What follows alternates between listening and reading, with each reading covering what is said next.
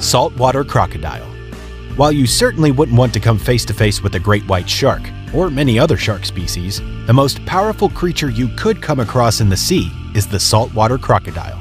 These beasts can grow up to 20 feet long and weigh 2,400 pounds, and their bite is ferocious. They are described as hypercarnivorous apex predators and will hunt any animal that enters its territory, including other apex predators like sharks, as well as fish, crustaceans, reptiles, mammals, birds, and even humans.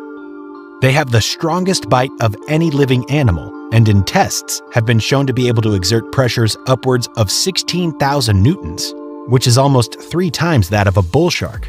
These tests looked at medium sized specimens, though, so it's thought that the largest crocodiles could potentially bite with forces in excess of 34,000 newtons.